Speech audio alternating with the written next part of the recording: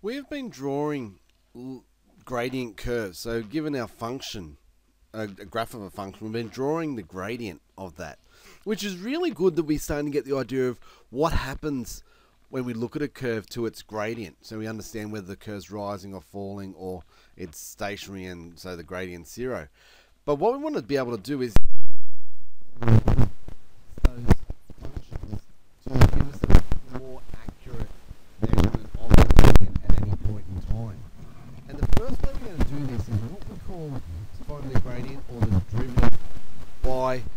first principles. So, what are we talking about? So, imagine a piece of curve. So, we've got our function y is equal to the function of x. So, what we want to do is we draw a secant. Now, we know a secant is a line that goes from one point on the curve to another. And what we want to do is estimate the gradient of this curve between these two points.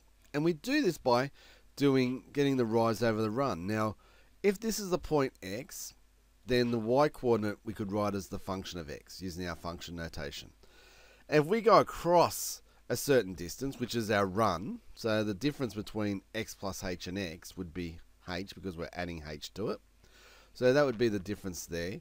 When we get that point x plus h, we go up and we get some function of x plus h. So we're subbing x into the function, we're subbing x plus some number into the function as well. And we get our gradient from that as the derivative, as the this difference, the function of x plus h minus the function of x, so that value for there minus that one, minus over this one minus this one, which is just going to give us h because we said x minus x plus h minus x would give us just h. So there's our gradient of our secant, which is what we call the rise over from the rise over the run. Difference in the y values over the difference in the x values. We just haven't written them in terms of the y values, but we've written them in terms of our function notation. So that's when we start to see the idea of how the gradient changes over time. Now, if we start to make that value of h, that difference in our x value is smaller, so we start to get the, the points where p and q uh, cross be closer and closer there. So the idea there is what we're trying to do is get a limit. Now a limit is where we take a value, a variable and start to send it towards a particular value. In this case, we want to look at what happens to this function as h approaches 0. Now, as we're looking at this, h can't approach 0. So it can't approach 0, but what we want to do with a limit function when we do that is substitute 0 in.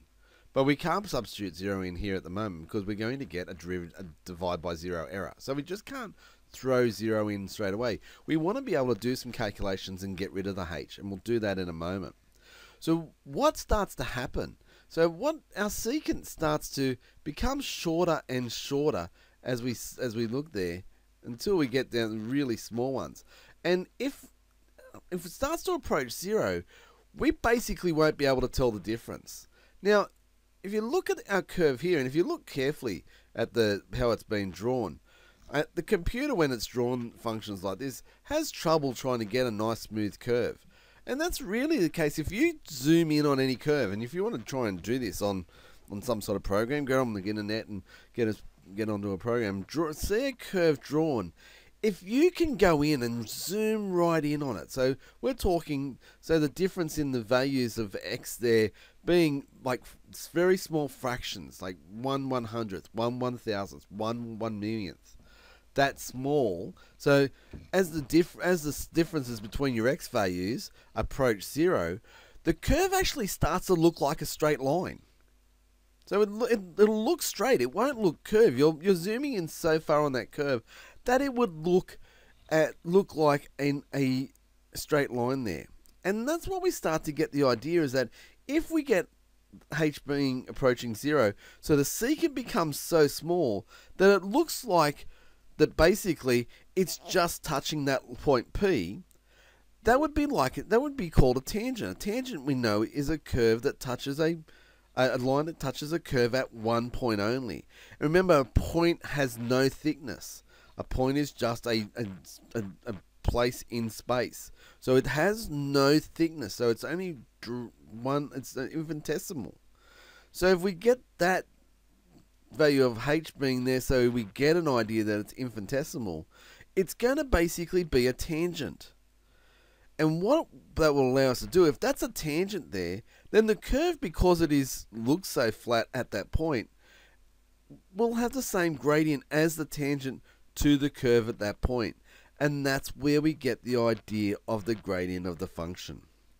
And this is where we call gradient from first principles. Because what we're doing is looking at the idea we get a limit as the h gets smaller, so the run gets smaller, what happens to the change in the y values? So we're looking at what's the steepness of the curve when we've basically got no run on that function.